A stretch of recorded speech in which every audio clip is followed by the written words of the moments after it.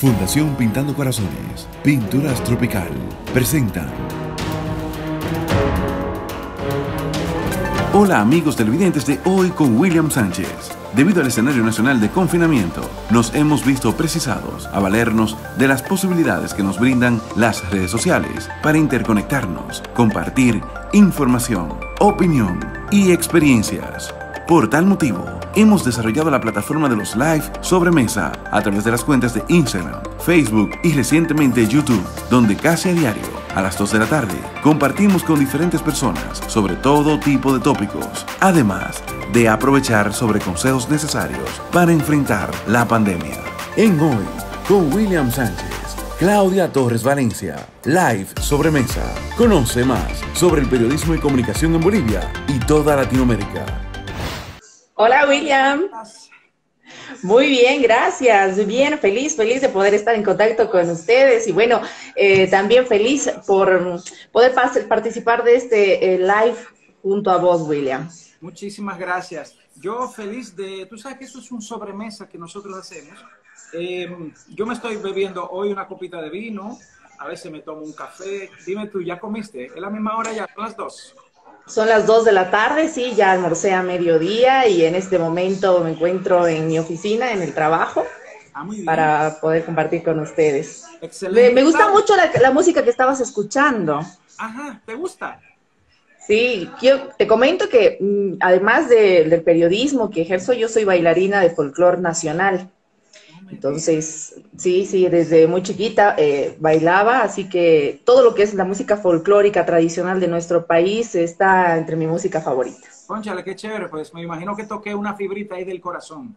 Sí, extrañando siempre bailar en los escenarios, viajar, conocer otros países. Eso me ha dado la oportunidad de conocer algunos países también, Sí, ser bailarina. Yo tengo un recuerdo muy hermoso con esta música. Le decía a la gente cuando comenzamos que la primera vez que yo escuché esta música andina fue en el año eh, 2001, el mismo año de la, de la caída de las torres en Nueva York. Habían unos ah, bolivianos eh, tocando eh, estos instrumentos que yo desconocía totalmente. Y bueno, en ese momento me compré mi respectivo, eh, mi respectivo CD, que yo creo que guardo todavía, de música. Ah, Sí. sí, los bolivianos eh, estamos en todo el mundo y donde vayas vas a encontrar sí un boliviano. Y, y lo bueno es de que eh, los bolivianos somos bastante folcloristas, amantes de nuestro folclore, de nuestra música, de nuestros instrumentos. No sé si se escuchó el charango.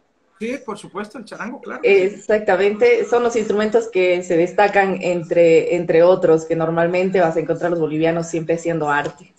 Muy bien, pues mira, vamos a dividir esta conversación en tres, vamos a agotar unos 55 minutos. Quisiera que hablemos un poquito de ti primero, luego vamos a hablar de lo que ha sido eh, el COVID-19 eh, en Bolivia y obviamente aprovechando que tú eres un, del equipo periodístico importante de Bolivia y que nos puede contar de primera mano todo lo que se ha vivido. Pero también vamos a ver un poquito de Bolivia, vamos a conocer un poquito de los, de los últimos acontecimientos eh, con relación al presidente Evo Morales, a la nueva presidenta que tenemos, a las elecciones que ustedes iban a tener el 3 de mayo, que me imagino que no se hicieron. Vamos a, hablar, vamos a dividirlo así en tres bloques. Vamos a comenzar hablando de Claudia Torres. Claudia, tu profesión periodística, trabajas en periodismo, pero veo que también hace muchas cosas más. Sí, sí, desde, desde chiquita me gustó el arte, como te decía, así que empecé con eso, con la danza, y creo que eso me abrió las puertas a, a dejar un poco la timidez, porque era bastante tímida cuando era niña. ¿Quién dice que una presentadora de televisión va a ser tímida? Imagínate. No. Eh, pero el, el ballet me abrió la puerta de conocer otros países, de conocer más personas y empezar a eh, tener facilidad de palabra, porque sí o sí, a veces en el escenario uno tenía que hablar y, y empecé a desenvolverme en el medio. Después fui eh, también señorita Tarija, estuve en Reinados de Belleza, fui Miss Bolivia, eh, también con Ah, eso empecé. Sí, Ah, sí. mi, sí, ¿En Miss año? Bolivia Turismo en el año 2007. Ok. Y bueno, también con eso pude viajar y a partir de ahí me invitaron a trabajar en la televisión. Mis, a mi abuelo, mi familia, yo vengo de una familia de periodistas deportivos. Mm. Eh, nunca me atrajo tanto, pero empecé a trabajar en un medio de comunicación así por, por mera eh, invitación. Yo todavía estaba en la universidad estudiando ingeniería comercial, soy ingeniera comercial de Esto te iba a profesión. preguntar, que si tu carrera también estuvo dentro de tu carrera universitaria. Exactamente. No, no, yo soy ingeniera comercial. Soy ingeniera comercial. Ya posteriormente hice un diplomado en periodismo y también hice un técnico superior en periodismo para aportar un poco más a, mi persona y, al medio donde yo trabajo. Así que empecé, empecé siendo reportera de calle, haciendo cosas muy fáciles y de un día para otro, mira esto, de un día para otro, así, mi incursión en la televisión como presentadora ha sido rara. Así, mm. Los dos, los dos presentadores del canal donde yo trabajaba inicialmente en Tarija, porque yo soy del sur del país, se fueron de viaje. Y el presentador reemplazante se enfermó y ese momento no había quien presente las noticias.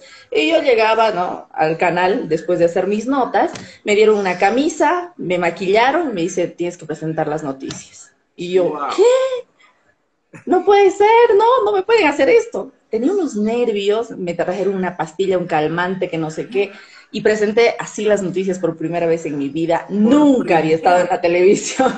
Y nunca nunca había estado en estudio. Tú hacías trabajo Nunca. Exactamente, nunca, jamás. Son chulísimos, no sé si en Bolivia pregraban antes de que salga al aire o, sale directamente en vivo. Todo en vivo, las noticias salen siempre en vivo. Tenía los nervios, pero creo que lo hice bastante bien, a pesar de todo, porque M acá.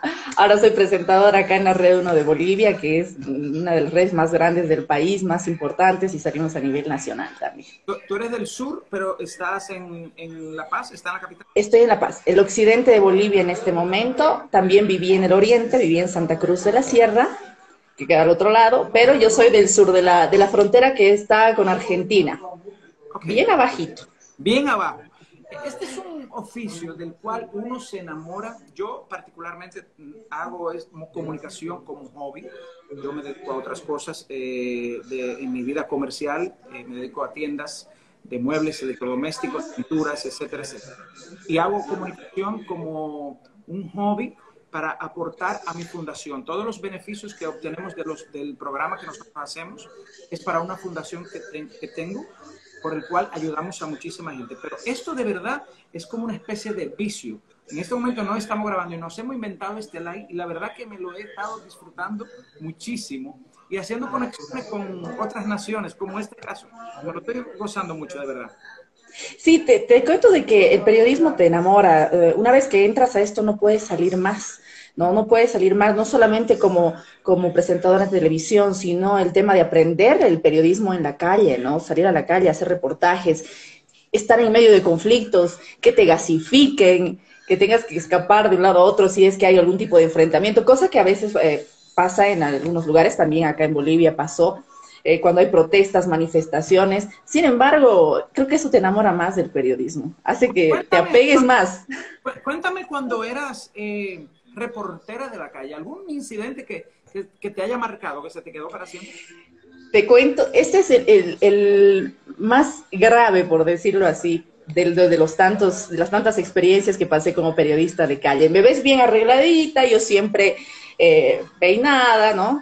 un poco coqueta incluso para salir a la calle, siempre lista para las cámaras, hacer en vivo, etcétera. Pero te cuento que un día había una protesta de parte del sector médico y los policías resguardaban el Ministerio de Salud. Y los, los, eh, los, médicos y trabajadores en salud llegaron a protestar al ministerio y empezaron enfrentamientos. Y yo estaba en medio del enfrentamiento. Y esa vez fue la primera vez que yo estaba en, una gasificación, porque empezaron a gasificar, los, tiraban piedras, rompían las ventanas. Y yo corría en medio porque tenía que salir al vivo desde el lugar. Yo corría con mi micrófono, corría porque La Paz es una, es una ciudad que tiene calles bastante empinadas. Entonces yo corría hacia arriba y por la altura me faltaba el aire un poco. Y tenía una máscara para, de, gas que se me olvidó cerrar la, la, el filtro. El filtro. Me gasifiqué entera. Estaba en plena, en plena gasificación cuando me desmayé y mi camarógrafo era en medio de, en medio de toda la, gasificación, me acuerdo. ¿Te llegaste a desmayar? Me desmayé, me desmayé porque era un gas terrible, me desmayé y, lo único que me acuerdo es que un médico, un trabajador de salud, me alzaba y me llevaron a un lugar, me rociaron de vinagre eh, y desperté. La pestaña por acá, el maquillaje por acá, desastre. Y así tuve que volver a salir en vivo. Así salí en vivo. O sea, yo estaba arreglada. Señores, miren aquí. Sí, estamos en medio de este conflicto. Yo toda chorreada, así, con las pestañas por acá. Eh, eh, fue muy gracioso, fue bastante traumático porque me quedé dos días con los ojos prácticamente cerrados por el, por el gas, la garganta me molestaba mucho y, esa ha sido una de mis experiencias más traumáticas en cobertura, pero que fíjate que, creo que hace que te guste más todo esto. Y, a nivel de entrevistas, eh, me imagino que también trabajas haciendo entrevistas a algún personaje político, etcétera, ¿no? Sí, sí, sí. A ver, mmm, Últimamente eh, eh, entrevisté, el año pasado lo entrevisté al que es el nuevo ministro de Obras Públicas. Acá en Bolivia. Y fue una entrevista bastante ligera. Normalmente cuando entrevistas a, los políticos son eh, pesadas las entrevistas, ¿no? Son pesadas.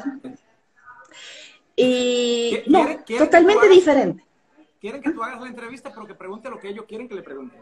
Exactamente. Esta persona, este ministro que lo conocí hace tiempo atrás también cuando le, hacía entrevistas en calle, cuando todavía no era autoridad, eh, me pareció bastante amena, fue bastante graciosa, porque incluso hablamos de que no se había peinado para ir a la entrevista, mm. pero me, me gusta mucho entrevistar a personas que son transparentes y que te responden mirándote a los ojos y sabes que te están diciendo la verdad, ¿no? Y así fue ese tipo de entrevista, me gustó bastante. Después, a ver, ¿a quién tuve me, me, subrayas, me subrayas esta del secretario de Obras Públicas porque fue un hombre correcto, amena. Sí, sí, fue bastante amena, reímos bastante en la entrevista, fue hasta graciosa, toda la gente opinaba a través de las redes sociales porque se, se, se mostró más como persona que como autoridad. Ah, y eso creo que es, es, agradable para un entrevistador, ¿no? Después, artistas, varios artistas pude entrevistar, una vez incluso unos artistas del grupo mexicano que llegaron acá a Bolivia. Justo caía un viernes, día de, los inocentes, no sé si también hay allá. Sí, eso es el Día de los Inocentes. Yo no tenía idea de que era el Día de los Inocentes.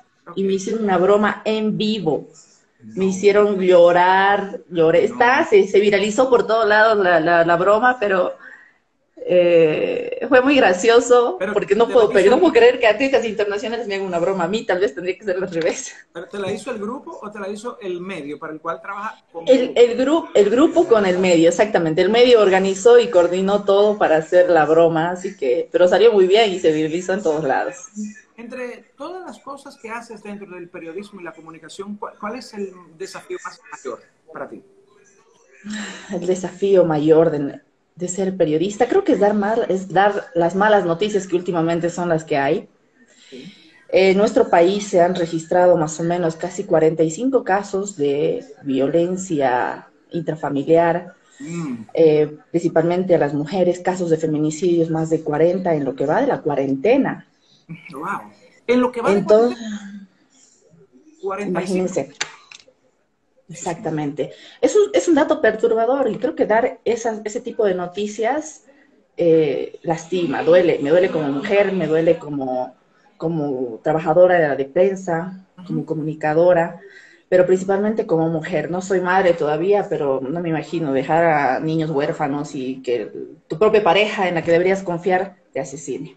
Eso, eso es lo peor. Esa es la parte mala de, ser comunicadora, de ser presentadora, dar las malas noticias. ¿Qué pasa con Claudia cuando se va a la cama y, siendo un ser humano, aunque estés haciendo un trabajo profesional, arrastra con noticias negativas como estas, que al final del día tú te las llevas a tu casa? ¿Qué pasa contigo? O sea, ¿has tenido muchas malas noches por este tipo de noticias? Sí, sí, sí, sí, muchas, muchas. Incluso me cuesta dormir bastante, siempre estoy pensando y recalculando cómo, cómo se puede ayudar a las personas. Em, me imagino que también está pasando en todo el mundo, pero ¿quiénes? Quienes sufren más por el tema del coronavirus son las personas que no tienen los recursos. Finalmente, tú te quedas en casa, tienes que comer, tienes dónde dormir, pero hay gente, y duele bastante ver esto, de, de la tercera edad que vienen desde zonas rurales hasta la capital y duermen en las calles acá en las noches hace un cero grados hasta bajo cero. Eh, eh, el occidente donde yo vivo es, es, frío, es frío este lugar. Y ah. es seco, entonces la gente sufre de frío y me voy en las noches a veces pensando en qué manera puedo ayudarlos, ¿no? Nadie puede salir en, en la cuarentena no podemos salir, pero bueno, como periodista me puedo dirigir, ayudarlos y, y, esas son mis noches, pasando, viendo la forma de cómo poder ayudar y no se puede ayudar a todos, ¿no? Son muchas personas que la están pasando mal en este momento. ¿Cuándo comenzó la cuarentena en Bolivia? Eh... El, sí, el 3 de abril empezó la cuarentena, el 8 de abril empezó la cuarentena. 3 de abril. 8, 8. 8 de abril, tarde. Sí. Eh, una, medida tarde, ¿no? Eh, sí, eh, lo que pasa es de que no había casos detectados mm. en, en, el país. Es decir, había muy... Para tomar una medida preventiva.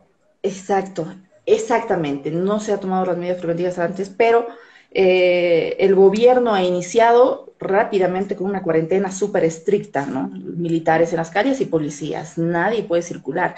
Y ahora ya recién ha bajado los datos y los números de personas arrestadas, porque se arresta por ocho horas a las personas que estén circulando en las calles con una multa de mil bolivianos mm. y, a los vehículos también. Entonces, la gente está acatando en ciertas zonas la cuarentena. Hay, hay eh, conciencia, te podría decir, en algunas zonas, pero en muchas no. Y ¿qué puedes hacer, no? No puedes estar arrestando.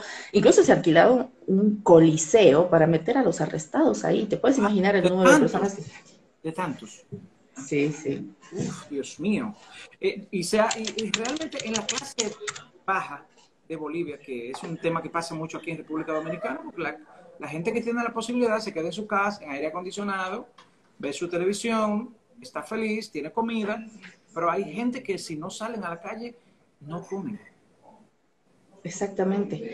gente que vive, gente que vive del día a día, dicen acá, ¿no? Yo vivo del día a día, qué sé yo, hago pan y tengo que venderlo, tengo que salir a venderlo a la calle, ¿no? Eh, bueno, el gobierno ha creado, ha creado diferentes bonos para poder dar a las personas más necesitadas. Son bonos, el bono familia, por ejemplo, la canasta familiar, que es otro bono, y el bono universal, además de la renta dignidad. La renta dignidad va dirigido para las personas de la tercera edad. Adultos mayores, ¿no? Eh, la canasta familiar igual va dirigido para las familias que tienen eh, hijos en etapa escolar, ya sea uno, dos, tres, se da un bono por, por cada hijo. El bono familia de igual manera y el bono universal que lo cobran las personas que no registran ningún tipo de ingreso. Ese es para las personas que eh, trabajan del día a día. Ese es el bono de las personas. ¿Cuántos, casos han, ¿Cuántos casos han detectado ustedes del 3 de abril para acá?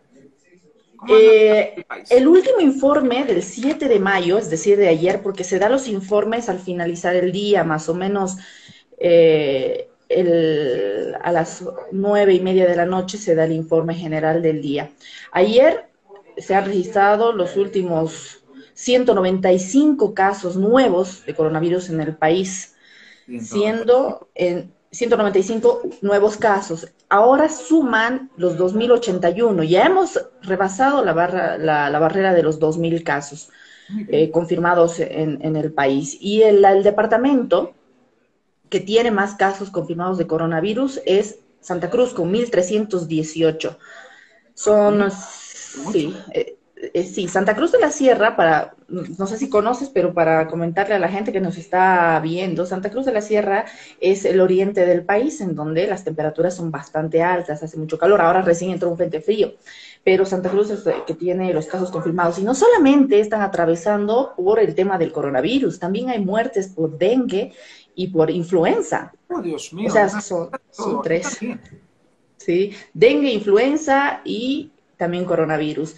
Eh, es, el, es, el, departamento que tiene más casos, está el sector de salud, la verdad que tiene un trabajo bastante complicado porque todavía no han llegado eh, equipos de bioseguridad, eh, respiradores para terapia intensiva, etcétera, que la próxima semana ha anunciado el gobierno que llegan a nuestro país.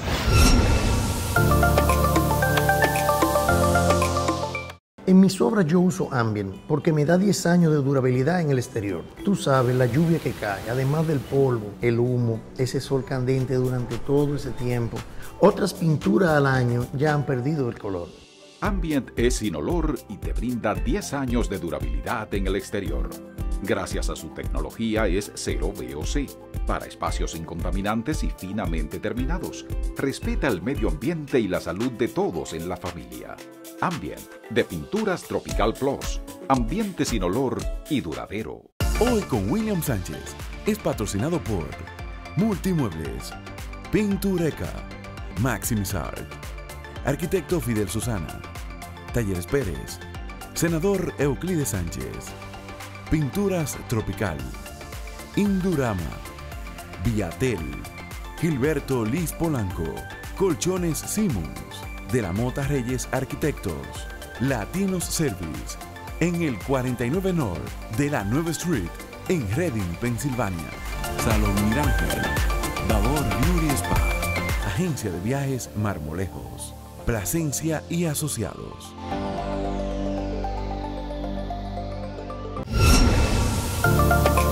En hoy, con William Sánchez, en live, sobremesa, Claudia Torres Valencia. ¿Cómo está valorando la gente el trabajo que el gobierno hace en todo este proceso? Como te digo, eh, es, es por zonas eh, lo que pasa. Hay gente que, que califica de bueno el trabajo que está realizando el gobierno para la lucha contra el coronavirus, que se está extremando los esfuerzos, que se ha creado eh, los bonos también, pero este, hay sectores que hay sectores que no que no que sienten que el gobierno no está haciendo el trabajo necesario. Hay una, una opinión dividida, ¿no? Wow. Claudia, ¿dónde estabas tú el día en el que Evo Morales eh, puso la renuncia del, del, gobierno de la República como presidente? Yo estaba trabajando. ¿Justo a la misma hora? A la misma hora. O sea, estaba que trabajando. La primicia. Lo que pasa, sí, sí, lo que pasa es de que en etapas de crisis, en, en, las, los peores momentos de un país, los que trabajamos somos los periodistas, ¿no? Más. Entonces estaba justamente dando las noticias cuando ya el expresidente Evo Morales presentó su renuncia desde, desde el Chapare, ¿no? Y posteriormente se fue a México en un avión mexicano. Todo esto que nosotros desde otros países podemos recoger, eh, vamos a comenzar a desglosarlo contigo de manera directa, porque uno ve tantas noticias amarillistas, ¿no? Que a veces uno no sabe ni en quién creer. Real, efectivamente, él fue presionado para que tomara la decisión de, de, de renunciar por los militares. Los militares sugirieron a Evo Morales que presente su renuncia. ¿No, no cree que esa sea un, un, una forma, digamos que, decente de obligarlo? Le sugerimos, señor presidente. Uh -huh. No, creo que en una opinión bastante personal, creo que no, no fue presionado a renunciar. Tal vez sí hubo una presión social, más que todo, por la información que empezó a circular acerca de un, de un fraude electoral sí. que hubo en nuestro país. Entonces, la presión social creo que lo ha hecho renunciar al presidente Evo Morales. Mucho de, de, de esta situación tampoco yo puedo, eh, como buena periodista que debo ser, Claro. imparcial, ¿no? No puedo dar eh, opiniones respecto a eso porque es un tema bastante delicado para nuestro No. país. Todavía le está doliendo a Bolivia eso, No, que no no podemos- podemos tener segunda oportunidad truncada de tener elecciones en nuestro país, no las podemos realizar.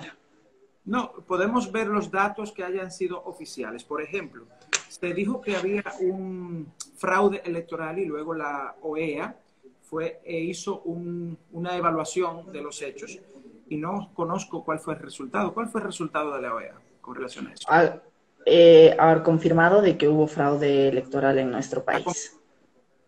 ¿Y dónde está Evo ahora? En Argentina, en Buenos Aires vive, sí. Eh, está, si me equivoco, si no me equivoco, está como refugiado, no como asilado. Eh, hubo, hubo ciertos encontrones, por decirlo así, entre nuestro nuevo gobierno transitorio con Evo Morales, porque bueno, él desde, desde el exterior continúa opinando, hablando acerca del país, eh, hablando acerca, dando consejos, dando consejos, bueno, más que todo consejos, y él todavía sigue manejándose a través de lo que es el movimiento al socialismo, su partido político, ¿no? El más IPSP. Entonces, eh, aquí la mayoría del parlamento es del movimiento al socialismo, que todavía, eh, por decir, trabajan, trabajan con él, así que... El, el, parlamento es mayoritario del movimiento que él es, que él diría, ¿no? Sí, exactamente, exactamente. ¿Y dónde estaba ese movimiento? Porque por lo que uno recoge en las noticias, el pueblo entero estaba tirado a la calle pidiendo la renuncia de Evo Morales. ¿Dónde estaba esa gente, la gente que lo apoya? De verdad. No habían. No habían. No habían. O sea, arte de, de magia, digamos, no, no aparecían. Incluso muchos, muchos están en el exterior otros están asilados en, el, en la Embajada Mexicana acá en Bolivia, que hasta el momento no pueden salir porque tienen procesos iniciados y si llegan a salir, bueno, se, los va a aprender, ¿no? Porque se han encontrado varias cosas, ¿no? Finalmente un pueblo entero salió a las calles a pedir que Evo Morales se vaya, pero no solamente Evo Morales, sino todo su gabinete. Sí. Se, le, ha, se le, han, le han sacado muchas muchas cosas. Yo vi algunos videos, veo que vivía él muy humilde, ¿no? Una casa muy humilde. No. Eh, Evo Morales vivía en la casa grande del pueblo. A ver si eh, podemos, la gente que nos está viendo y tú también, eh, es, era un edificio blindado prácticamente, donde ahora se maneja un centro de operaciones de la lucha contra el coronavirus. Eh, los medios de comunicación, bueno, siempre se hace leña del árbol caído, ¿no? Los medios de comunicación ingresaron a la Casa Grande del Pueblo, en donde había una gran cantidad de, artículos lujosos, por decirlo así.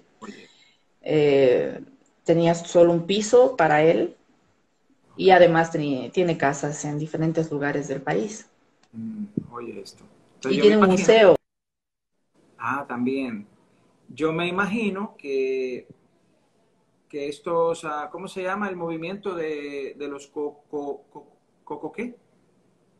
Ah, se nos ha ido, se les ha ido la, se les ha ido la señal. Vamos a ver, vamos a esperar. Ok, ahí estamos. ¿Me, escuchas bien?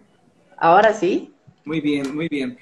Me imagino entonces que toda esta gente, ¿cómo se llama el movimiento este de los, de los que producen coca? El movimiento social este, cocautero, ¿cómo se llama? ¿Los cocaleros? Los cocaleros. Estos que son campesinos y han visto ahora por los medios de comunicación todos los lujos con los que este hombre vivió, vivía, entonces me imagino que se han sentido un poco ¿no? No, no, la verdad que no. Eh, eh, Evo Morales sin duda continúa teniendo el apoyo de su partido y del trópico de los cocaleros del trópico de Cochabamba principalmente, continúa teniendo ese apoyo. Eh, finalmente ha sido un líder que ha estado 14 años en, nuestro país y, efectivamente él ha, mejorado ha mejorado la situación de, vida de, la gente que vive en el área rural. Entonces, sí hay apoyo de Evo Morales todavía. Él tiene una base dura acá en Bolivia. La presidenta eh, Áñez eh, está siendo candidata para las próximas elecciones?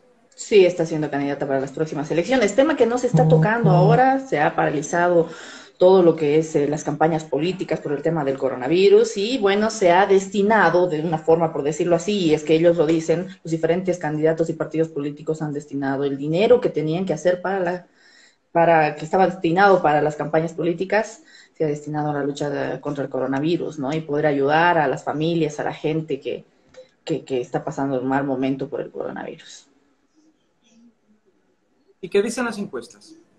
¿Gana ella? Ah, las según la, última encuesta de intención de voto que se realizó, eh, está en un segundo lugar. En primer lugar está el Movimiento Socialismo con su candidato, eh, el señor Luis Arce Catacora, que era ministro de Economía en el gobierno de Evo Morales y que ahora él es el candidato a la presidencia. Él, repunta, está a la cabeza de intención de voto, seguido de Yanine Áñez, que están en un mismo 18, 17% con Carlos Mesa, que también fue un expresidente de Bolivia, Y en tercer, bueno, esto, eso es segundo y tercer lugar. Y en cuarto lugar está la última encuesta de intención de voto, salió Luis Fernando Camacho, si no me equivoco.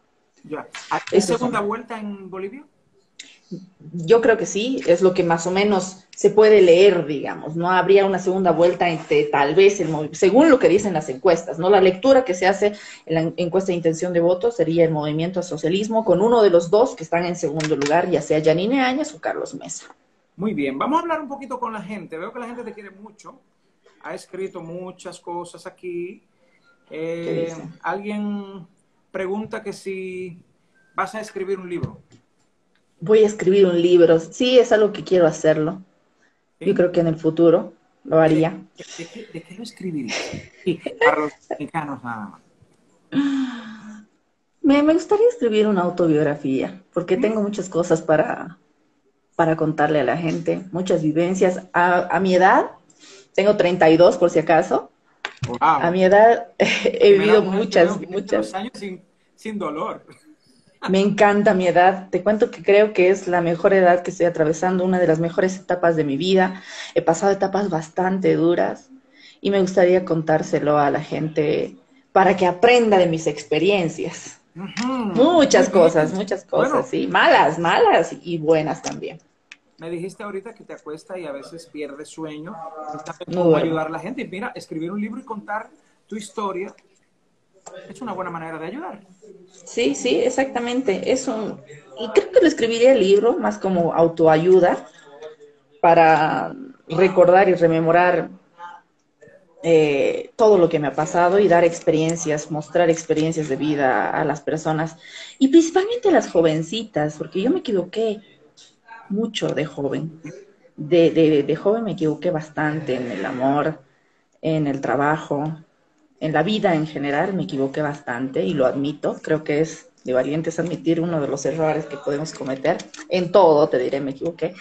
Pero ahora ya de grande veo eso como una experiencia de aprendizaje. Y creo que las jovencitas, las, las, las mujeres que están pasando de una etapa de ser adolescente, a, de, de, de, ser niña a adolescente, es bastante difícil sobrellevarlo. El bullying, el desarrollo en tu cuerpo, el amarte a ti misma, el quererte como eres, el quererte eh, así, ¿no? Yo soy así, así me gusta mi cuerpo y así lo voy a hacer siempre. Si yo no me amo, ¿quién me va a amar? Sentir que eres único, única. Exacto. Y, hay un problema grande en nuestra sociedad de que eh, hay estereotipos tan marcados de cómo debe ser una mujer que llega a afectarte psicológicamente, yo lo admito. Muchas veces cuando era todavía inestable, eh, no tenía una inteligencia emocional que se llega a desarrollar con el tiempo, eh, llegas a odiarte, a no querer tu cuerpo, a no quererte cómo te ves en el espejo, a no aceptarte. Y, creo que con un libro así yo podría llegar a ellas, llegar a esas mujeres, a quererse y sobre todo contado por historias propias. Exactamente.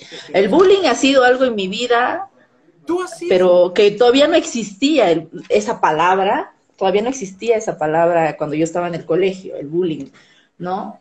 Y no sabía ni qué era, pero estaba ahí presente. Yo sentí bastante bullying. ¿Cómo lo decían en tu colegio? En mi, en mi escuela eran burlas. Exacto, burlas. Abusadoras. Ah. Y los que hacían eran los abusadores los abusadores. ¿Y, a ti te hacían bullying por qué? ¿Qué te decían? A ver, eh, a mí me hacían bullying porque en la etapa del colegio, yo estaba en un colegio mm, caro, en un colegio donde la gente era de estatus social alto. Yo no tenía un estatus social alto. Tenía todo lo que necesitaba, pero no me sobraba como mis amigos, a mis compañeros. Y bueno, los niños son malos, ¿no? O sea, finalmente siempre están rodeados de una burbuja y de, de un entorno que son similares entre sí. Yo no me parecía a ellos. Yo, con decirte, yo tenía un pantalón para ir al colegio, porque me pedían jean en, época de frío y solo usábamos uniforme. Entonces yo tenía un jean, un jean para toda la semana y se burlaban de mí. Sí, porque no me podía comprar otro. No me podía comprar otro. Entonces mis compañeros se burlaban de mí. Decían que era una sucia, qué sé yo, por andar con el mismo jean todavía. Pero no sabían mi, mi situación y yo tampoco se los decía. ¿Y yo por qué estaba en un colegio así? Porque tenía beca. Ah, Era muy buena estudiante. Estoy esperando para preguntarte justamente, tus papás se preocupaban porque estudiaran en un buen colegio, más no sobraba para comprar buena ropa. Ya, es que tú tenías beca. Exacto, yo tenía beca. Que te lo ganaste, me imagino, por el tema de- del arte, ¿no? No, e- era muy inteligente, era muy inteligente, bastante preparada. Siempre, bueno, soy. Me, me preparo mucho, siempre me esfuerzo al extremo. Creo que el hecho de no haber tenido papá, mi papá murió cuando yo tenía tres años, y solamente sobrellevar mi vida con mis abuelos y mi mamá ha sido algo positivo en mí, más que negativo. Eh, el hecho de que siempre me he esforzado más por tener cosas que a otros tal vez no les cuesta mucho. Oye, ¿y de qué muere tu padre? Mi papá lamentablemente se ha suicidado cuando yo tenía tres años. Y eso no lo sabe nadie. Primera vez que lo digo. Wow. Sí, mi mamá era muy joven. Mi mamá tenía, cuando me tuvo tenía 19 años. Eh, también yo he aprendido de ella el esfuerzo, el trabajo. Ah, Tú eres la mayor, soy la única. la única. ¿Y tu mamá vive? Mi mamá nunca más volvió a tener novio, no volvió a tener nada. Yo le pedía hermanitos y nunca me lo dieron. ¿Y Lo siento, qué ella? pena, dice. ¿Vive contigo ella? No, mi mamá cuando yo tenía 10 años decide irse a Santa Cruz. Yo vivía en Tarija, en el sur del país. Mi mamá decide irse a Santa Cruz a buscar una mejor vida, o a buscar un mejor trabajo porque teníamos que sobrevivir, digamos, ¿no? Afortunadamente tuve unos abuelos que son los papás de mi papá que me criaron prácticamente, así que mi mamá se fue a trabajar a Santa Cruz y de allá me, me mandaba el dinero. Y yo desde mis 10 años no vivo con mi mamá, hasta los 28 años. Eh, porque nunca quise mudarme con ella, nunca quise irme a otro lado, no quería alejarme de mis abuelos, yo los amaba mis abuelos. Dios. Y, y así que ella vivía lejos de mí, yo vivía con mis abuelos. Y a partir de ahí me empiezo a dedicar al arte. Entro a este colegio que, como te digo, era muy bueno y todo, pero solamente logramos pagar un año. Todavía yo no tenía beca. Solamente mi mamá logró pagar, pagar un año del colegio y me dice, hija, te tienes que salir del colegio, tengo que llevarte a otro porque es muy caro y no puedo. Y ya, o sea, yo triste lo acepto, pero ahí la, la directora del colegio, me acuerdo, que le dicen a mi mamá, no, ella no se puede ir, tiene que estudiar acá. Así me dieron beca, porque sí, sí me esforzaba, era buena alumna, siempre. Y también he tenido una mamá súper estricta que no dejaba que tenga malas notas. Qué bueno. Y, y- y me dijiste que, que entre las cosas que quiere poner en tu libro son las cosas amorosas. ¿Tienes pareja actualmente? No, Ay, sí. No diga que no, porque yo hice mi investigación. no, no, yo no tengo, no tengo. Yo me Te voy a casé. enseñar una foto para que me diga quién es. Oye, no tienes que estar contando. Oye. Mi jefe me dice que no, mi jefe me dice que no cuente mi vida personal. Está por acá. ¿Aceptas? ¿Acepto qué? Sí. Ok. ¿Quién es él? A ver, a ver. No se lo ve. A ver, a ver, a ver, espera, espera. Ay, ¿por qué no se ve? Déjame bajarle un poquito la luz. Un momentito. Así que investigando, ¿quién es? Él es el amor de mi vida. Es el amor de mi vida. Llegó a mi vida y me cambió todo. ¿Cómo se llama? Te digo el nombre, pero algunas personas tal vez lo van a tomar mal, otros lo tomen bien, otros se rían. Se llama COVID. Kobe. Muy bien. Sí. No nada que ver con Kobe Bryant, ok. Llegó a mi vida justo en esta etapa cuando inició la cuarentena en Bolivia. Apareció en mi vida de un momento a otro, decido adoptarlo ¿Cómo que apareció? y apareció en mi vida porque una amiga me dice, hay unos perritos que lamentablemente no tienen dónde ir, no, y no sé qué vamos a hacer. Y yo le digo, yo me adopto uno. Yo vivo en un garzonier súper chiquitito. Lo pensé bastante porque es mucha responsabilidad. Sí, sí. y llegó a mi vida en el, en el momento preciso. Digo eso porque yo vivo sola, porque, porque realmente uno en, en cuarentena, a pesar de que trabajamos bastante, estás en tu casa y no tienes con quién conversar, no y yo con él charlo, juego, o sea, se la pasa rompiendo mis, mis cosas, mascándome todo, pero es un ángel, es un ángel. Bueno, amo, amo, amo a mi perro. Tienes, tienes con quién discutir y con quién pelear, porque hasta eso es, Es- importante. Exacto, importantísimo Sí. para deshaga. Pero con él no. Dice la gente aquí, saludos Claudia, aparte de Bella, eres excelente presentadora, sigue adelante y bendiciones. Uy, bendiciones también para ustedes. Juan ¿Saben Gerardo qué? Copa. ¿Quién? Juan Gerardo Copa. Juan Gerardo Copa. Hola Juan Gerardo, ¿sabes qué? Este, dar las bendiciones a una persona es una muestra de amor y de cariño realmente, y eso tiene que salir siempre del corazón, así que te agradezco y también bendiciones. Aquí salen también los políticos y se sacaremos a Áñez, señores. Tengo de todo en el Instagram también. Hay mucha gente que este, es masista, por decirlo así, porque son Sí. del movimiento del socialismo y hay gente que, que, que está, no sé, conforme con el gobierno de transición. Hay, hay un periodo de elecciones también.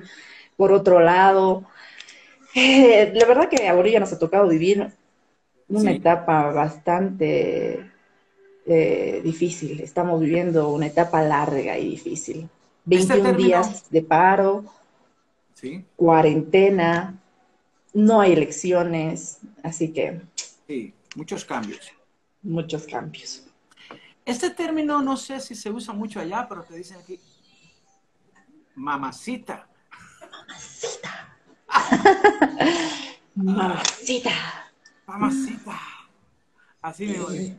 ¿Y sabes qué? Eh, sí, eh, algunas veces lo escuché, pero me parece un poco desagradable. Si- hombres, hombres, si quieren decir un piropo a las mujeres, búsquense algo original, no lo que dicen todos. Sí, decir algo que salga de tu corazón. Sí, algo Porque bonito. ese no sale del corazón, sale de otros lugares. No, sí, mamacita. A ver, dice aquí Claudia, desde que la vi en red, en red Uno. 1, empecé a seguirla en sus redes. No todo es malo de esta cuarentena. Saludos. Un ratito perdí el contacto. No todo es malo de esta cuarentena. Ok, eh, saludos. Ah, sí, lo, lo bueno de la cuarentena es que, mm, bueno, la gente que tiene la familia al lado puede compartir más, pueden conocerse mejor, Sí. pueden hacer cosas que siempre dicen, Ay, es que no tuve tiempo, no tuve, no hallé el momento. Bueno, ahora sí tienes el tiempo y tienes el momento de conocer a tu hijo, de volver a conocer a tu esposa, a tu esposo, de darte cuenta que Sí. o sea, ahora a través de las redes pasa de todo, ¿no? Y ahí puedes controlar a tu hijo, puedes saber qué está haciendo, con quién está charlando. Sí, está un buen tiempo.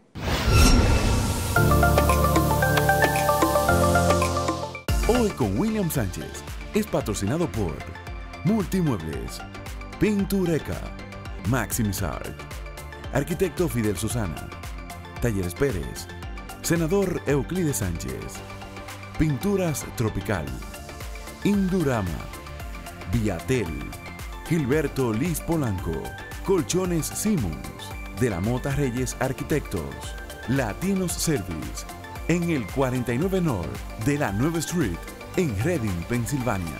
Salón Mirante, Davor Beauty Spa, Agencia de Viajes Marmolejos, Plasencia y Asociados.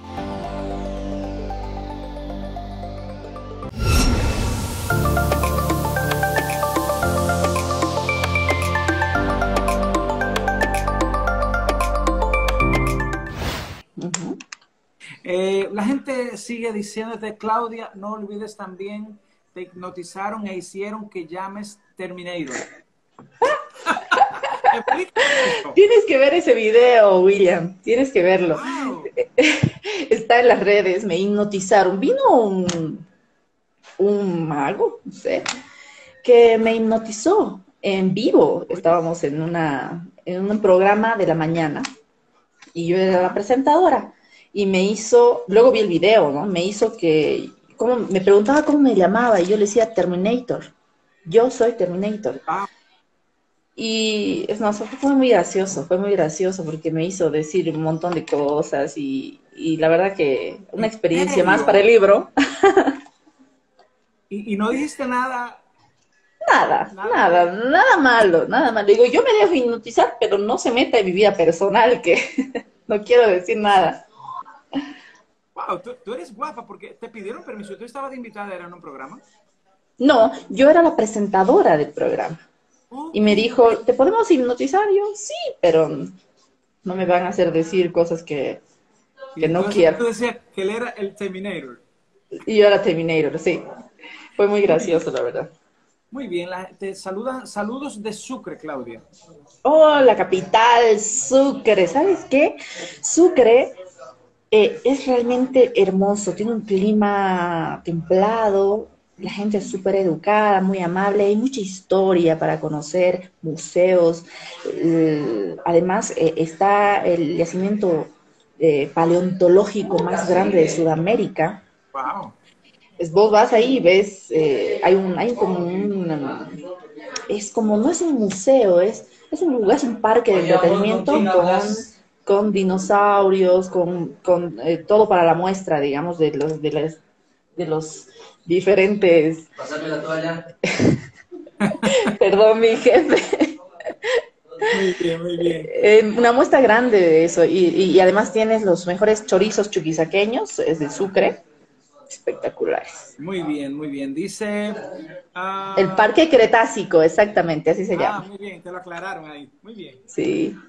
Una de las mejores conductoras de Bolivia y hermosa, hermosa Chapaca. ¿Qué es eso? Chapaca.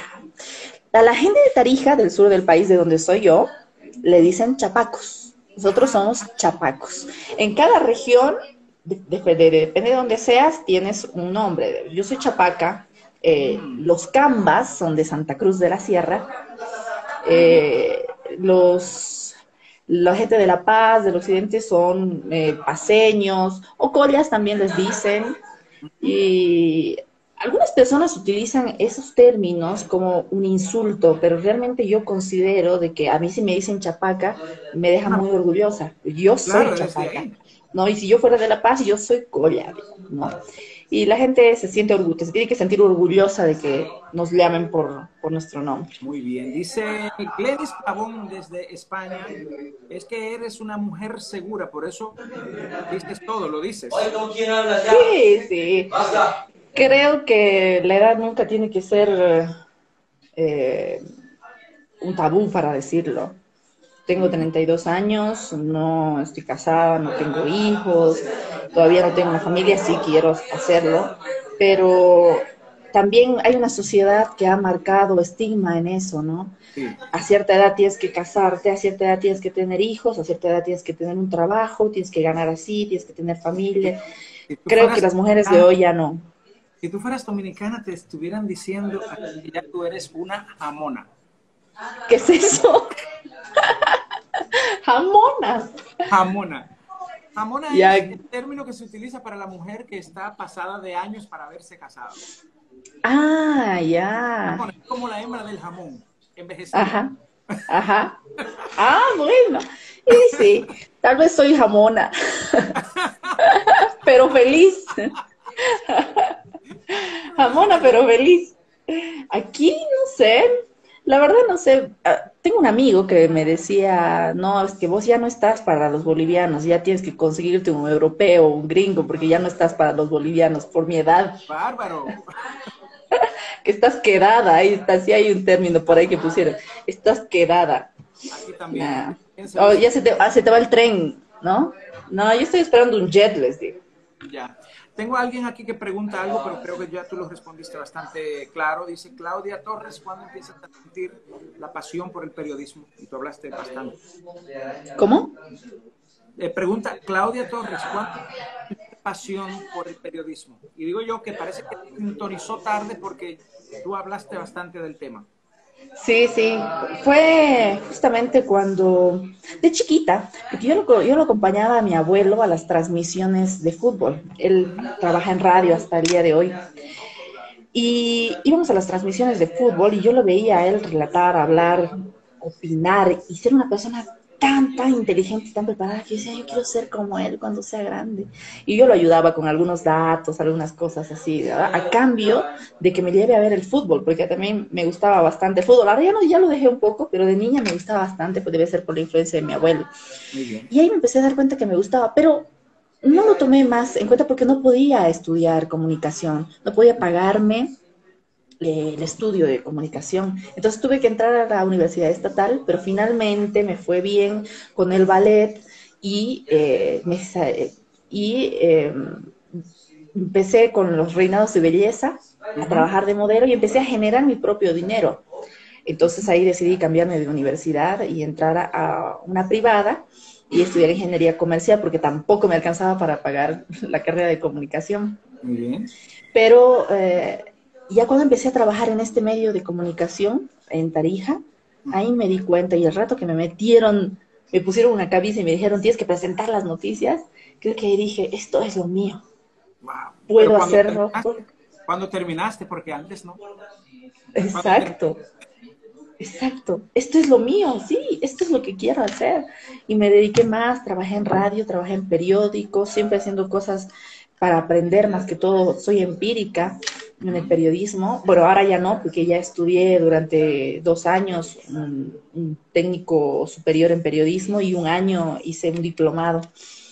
Pero en esa época empírica y, y, ahí empezó mi pasión por el periodismo, el amor a, a esto, digamos, a informar.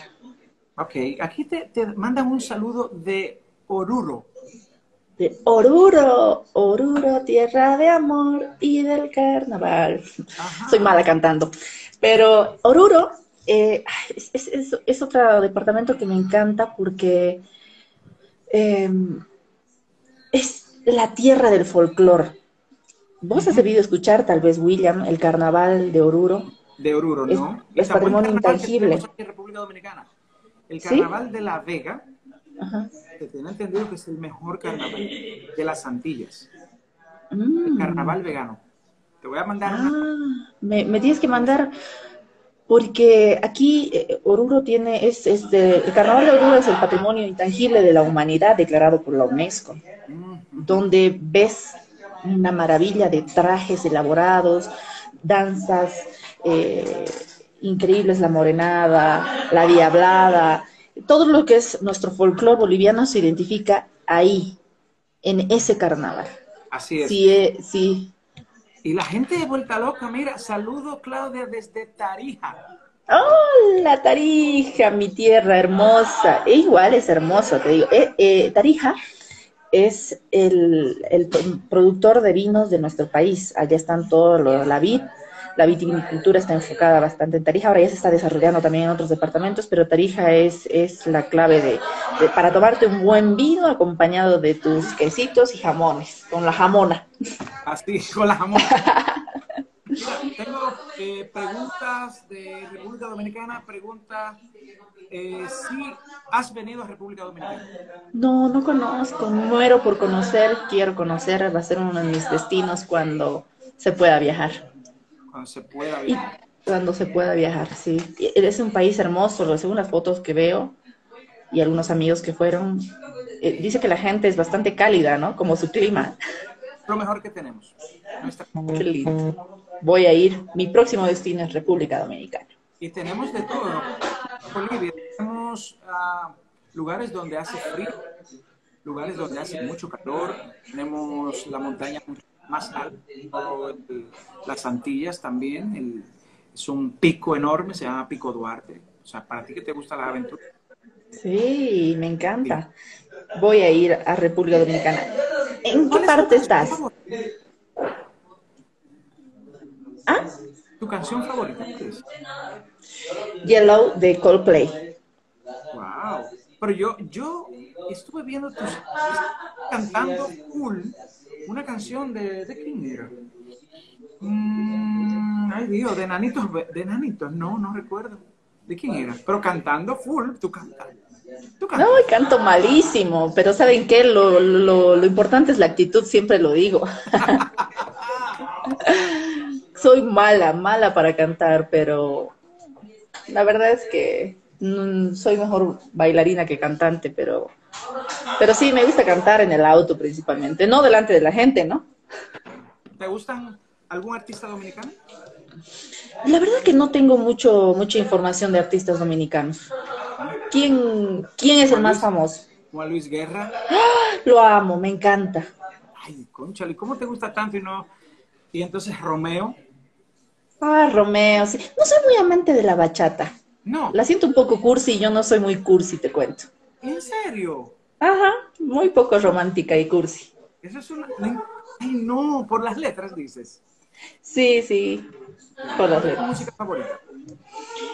Ay, no sé, me gusta de todo. Desde la cumbia, el rock, hasta el reggaetón. Me gusta todo. Muy Todo, bien. todo, todo. La música es algo que lo utilizo bastante para despegarme un poco de las noticias. Muy bien.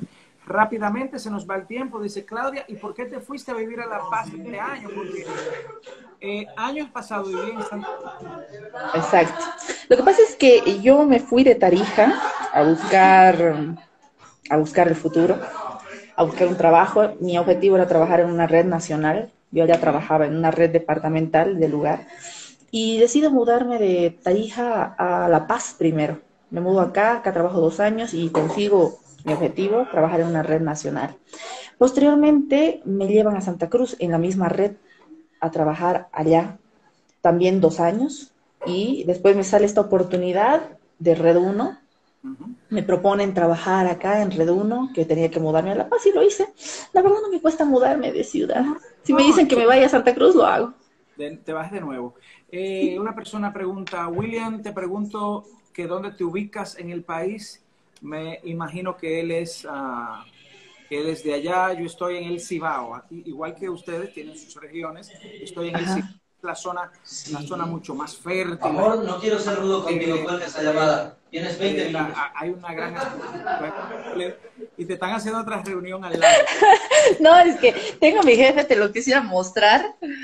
Es, es, es un jefe, es un jefe diferente. Es un jefe totalmente diferente. Bien, siempre la gente- viene. La gente sigue saludándote, eh, Clau, por lo que veo bailas morenada. Bailo todo. Esa es mi especialidad. Soy bailarina de todo, sí. Bailo morenada, bailo tinku, tobas, chapaco, chaqueño. Bailo todo. Todo el folclore nacional. Todo el folclore nacional. Ujú. Muy bien, muy Sí. bien. Claudia, en nombre de, yo creo que todos los mexicanos tengo que darte las gracias por enseñarnos un poquito sobre la cultura de Bolivia, por enseñarnos un, un poco más de ti como persona, como profesional. Yo pienso que hemos durado una hora hermosísima, donde yo particularmente me la he pasado muy, muy, muy bien. Qué rápido pasó el tiempo. Pasó el tiempo, pasó una hora. Increíble. William, eh, ah, para mí ha sido el placer. La verdad que eh, eres una persona muy amena y si esto lo haces por entretenimiento o- y para eh, juntar fondos para, para esta organización que tienes, te digo que deberías hacerlo de manera profesional. Eres muy amable, súper educado, muy ameno y hace sentir cómoda a la gente. Así que gracias. Muchas gracias en nombre de todo el equipo mío que está trabajando con nosotros. Esto nosotros lo salvamos, lo vamos a salvar. Un programa de televisión completo con todo esto, pero con algunos otros elementos. Ya luego te contaré. Me mandas el link, por favor, quiero ver. Con, con mucho gusto. Un abrazo desde la República Dominicana. Un abrazo y un beso para todos ustedes